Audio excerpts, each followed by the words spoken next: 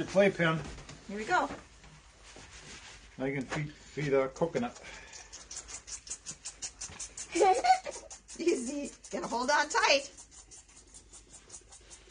Pretty thirsty. Look at them tails go. You're a good goat farmer, Weston. Check a leg. Which one is Weston's goat, gray or black? Your coconut or shadow? Black. Black one you like? I like the black one earlier too. Green one. Black one used to be real friendly all the time, and now And he got sick.